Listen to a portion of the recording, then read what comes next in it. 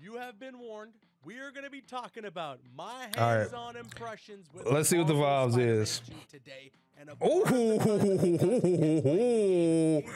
some stuff for look at that! Oh, anything, if you don't want to hear anything regarding spoilers, this may not be the video for you. Oh, uh, chat, he said it's spoilers. He said it's spoilers. So- side mission. If you're excited to learn about how incredible Wait, Spider-Verse side mission? characters like Lizard and Kraven are in this game. Well, here we go. Oh, we're gonna get into it. Oh, hey, turn it up. All right, I got you. I got you. I did. Tur- I got it turned up. Huge thanks to the folks at PlayStation Canada for inviting I got it turned up. bring me out He probably just Angeles and allow he probably got his volume low. With the game, I got to play it for quite a couple of hours. I pretty much got to see the entire open world. At least I got to explore and free roam what was new, and that that was amazing. And I also got to check out a ton of new story-related things. Let me just jump in. Yeah, he got it away turned low.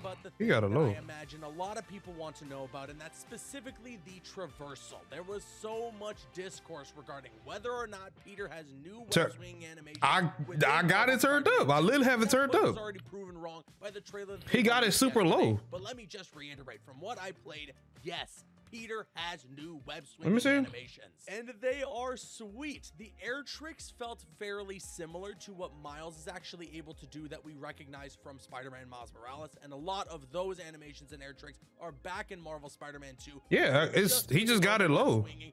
He just have it low. Flips. He does some cool I got everything turned up to a 100. lot of fun. Speaking of traversal, I don't want to talk in hyperbole here, okay? But I genuinely mean it. In the limited amount of time that I had with Marvel Spider-Man 2, I think right now that the web wings might be my all-time favorite traversal mechanic in any video game ever. Think about all the stuff you love about the Batman Arkham Glide, okay? You know, dive bombing towards the street and then just pulling up at the last possible second. You're pretty much skidding right above the Mm. I ain't gonna lie, that zip was crazy. All that fun stuff, but you're also Spider-Man. I don't know. I don't know how Insomniac did it. These guys are freaking wizards, man. But I was having an absolute blast with the web wings. Those wind tunnels are placed in. Yeah, I have it. I have it turned up. I just he just talking low. He just talking low. That's all.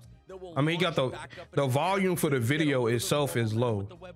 With the web wings, it's just an unbelievable amount of fun. And it's a simple button press too. You're web swinging around, doing some air tricks, press triangle, boom. The web wings are out, and then you can do all your fun stuff and go right back into a web swing or into some air tricks if you'd like. There's mid-air dodges that you can do, and also if you hold down and then circle, he's gonna pull out the web wings and then stop himself. So if you see a random crime or maybe a collectible, Oh, so you can stop yourself while you're in the thing by pressing circle. or fight the crime. And I don't even think I need to talk about this too much, but man, this game looks pretty. My goodness, they are taking advantage of the PlayStation 5. That much is for sure. There's just something about it when you look at the gameplay from Marvel Spider-Man 2 and then compare it with the gameplay in Spider-Man Miles Morales, even on the PS5 or Marvel Spider-Man Holy, look at that Added layer of gameplay. And its saturation that's in Marvel Spider-Man 2 that just makes it look that much better. Not to mention the character models, the textures, the lighting. I think particularly the nighttime setting in Marvel Spider-Man 2 looks leagues better than the way it looked in the previous two games. Rest assured, they are taking advantage of every little bit of the power that the PlayStation 5 offers with this game. You already know all the upgrades that combat's gotten in Okay, Marvel look at- Spider-Man 2. okay. It's a lot of fun when you got your hands on the controller, stringing together your regular attacks that you recognize and you remember from the last. Okay, so Miles can do the wall thing too. brand new special attacks Okay, so it's just not to Peter. Okay, bet. so much fun. And what I found most interesting about that is that those special attacks aren't just going to be symbiote attacks at one point in the game. You can choose Mm. if you want some symbiote attacks and then as well some attacks with. You can choose as well if you want to switch out all Oh, look at the range on that. Iron Arm special attacks or just symbiote attacks. Of course, with Miles, it's The range on that is because he has crazy. Abilities, but there's a lot to explore there, and I'm very much looking forward to getting my hands on the full game to see what sort of different things you can combine, what things are best to mix and match. The Iron Arms are a lot of fun, and they're pretty powerful, and they're not too intrusive in the gameplay. The symbiote attacks, I mean, you already know, that's the power fantasy hmm. that we're looking for out of Marvel Spider-Man 2, being able to take control of that symbiote and utilize it to its fullest potential. And I think that best describes exactly what Insomniac did in this game. I missed the first symbiote ability? For real? like to use that and it's a attacks aren't just going to be symbiote attacks at one point in the game. Oh, that little spike. Oh, okay.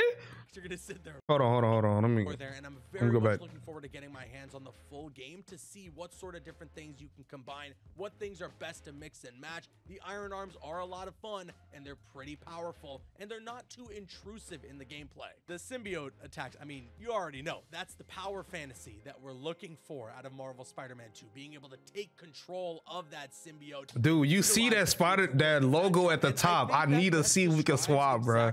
I need to see that. I need to see it, dog. Nailed what it would feel like to use that power. It's brutal, man. It is very visceral. Some of those attacks, you're gonna sit there and be like, "My symbiote surge to that poor dude." So suffice to say, the symbiote suit in Marvel Spider-Man 2 is pretty much perfect. Another interesting thing worth noting about the symbiote suit, or I guess the alternate suits in general within Marvel Spider-Man 2, is that your symbiote abilities aren't specifically tied to the symbiote suit. Essentially, nice. the symbiote suit in Marvel Spider-Man 2 is just an alternate costume. If you want, you can use the Advanced Suit 2.0 and still use the symbiote abilities. You can, of nice. Course, use the Raimi suit from Spider-Man 3 and use the symbiote abilities. Nice. Note, I got to use the Raimi suit from Spider-Man 3 with the symbiote abilities. That was awesome. And I just, in general, think that that's a really good way to do it. That way, you know, hey, if I really like the Advanced Suit, I don't want to lose that because it's tied to the story. That way I can still just... Yeah, you can use the symbiote with the... That's, I, that's a nice addition. I like that. Fun symbiote abilities. Or maybe, you know, I like the symbiote suit in Spider-Man 2, but I'm not the biggest fan of the symbiote abilities. I ain't gonna let that wall thing.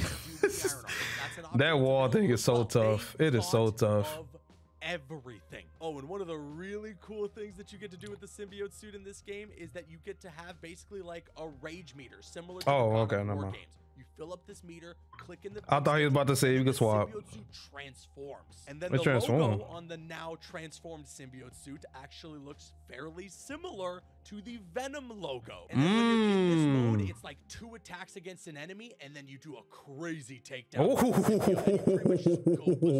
Again, think the Rage mode from the God of War. Dog. Marvel Spider-Man 2. It's perfect. And what's really oh cool about as well is that if you're just using the Advanced Suit 2.0 and then you activate the Rage, it almost feels like, you know, you're transforming into the black suit on the fly. The alternate suits are pretty damn great. Wait, wait, wait, wait. You already saw in the trailer yesterday that there are plenty of suits wait, wait, wait, wait, forming Venom logo. And then when you symbiote and you pretty much just go berserk. Again, think the Rage mode from the God of War games, but now implemented into Marvel Spider-Man 2. It's perfect. And what's really cool about it as well is that if you're just using the Advanced Suit 2.0 and then you activate the Rage, it almost feels like, you know, you're transforming into the black suit on the fly. The alternate suits are pretty oh. damn great in this game. And you Hold on! Yesterday that there are plenty of suits from the previous two games that are returning here. But the additive now is that there are So he said if you got the advanced suit on when you activate the Rage mode, I noticed that one of the color you swap automatically to the black suit. So that the blue on the suit is actually black, so it's like a black and red advanced suit, and I know a lot of people are going to be very happy when they see that. But then also, I need to see it in gameplay, dog. I need to see, I need to see that part in gameplay. Of, that color variant makes it pop that much more. And of course, all the other bells and whistles you're already aware of. You know, there are three skill trees in the game: one for Peter, one for Miles, and then the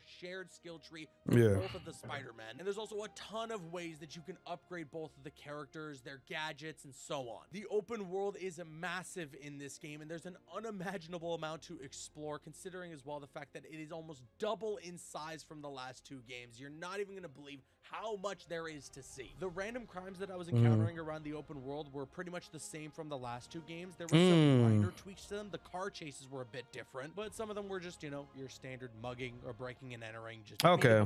So we got the same crimes. Cool this, uh, though, that stuff. Sometimes you'll go into a random crime that's happening, and Miles or Peter, whatever it might be, depending on which character you're playing as, will be there as well and fighting the criminals alongside you. Sometimes that is fire. There's quite a few things happening on screen. You can do random crimes and Miles could just pop up. Goes into a dual takedown where Peter and Miles work together. It's just unbelievable. That is fire. Surprise was a side mission where you're collecting a whole bunch of spider bots, and actually at the event they had some of these spider bots. You know, one of them will be like a shocker spider bot, or one of them will be Evan. Like wait, oh, what's up with Evan's video?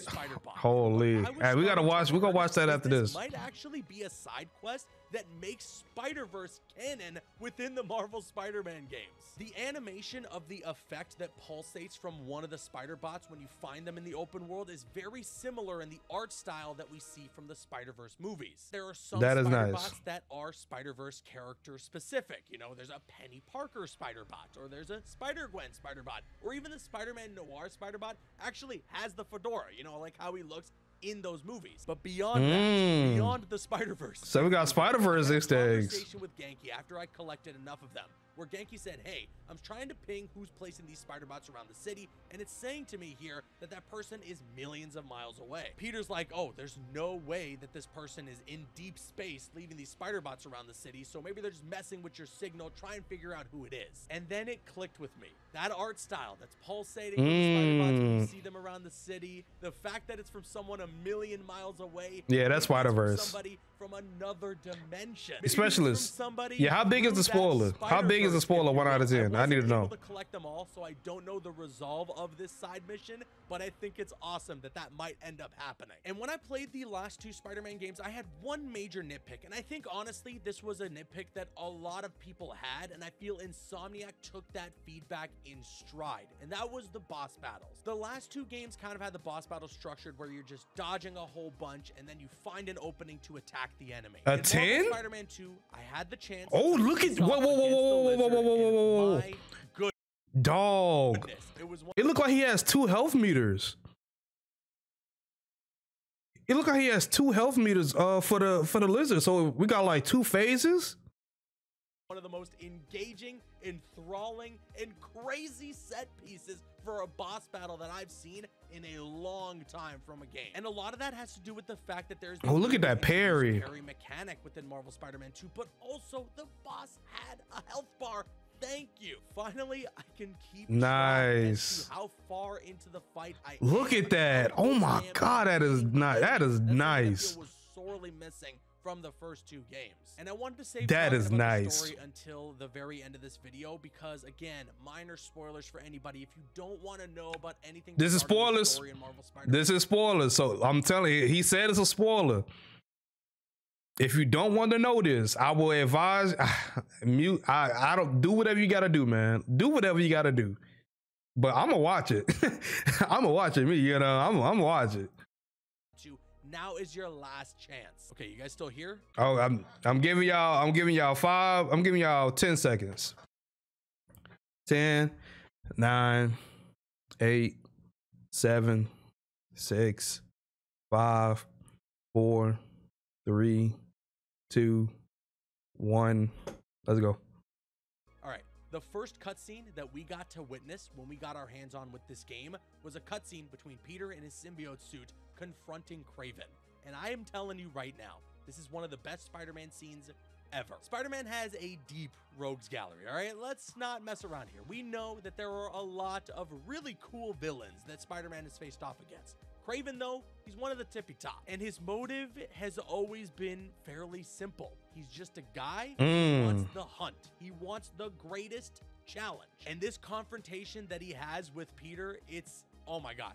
I, I cannot praise it enough. From a performance standpoint animation direction writing all of it it's firing on all cylinders. If kraven has been your boy if that's your favorite spider-man villain this game is going to blow your freaking mind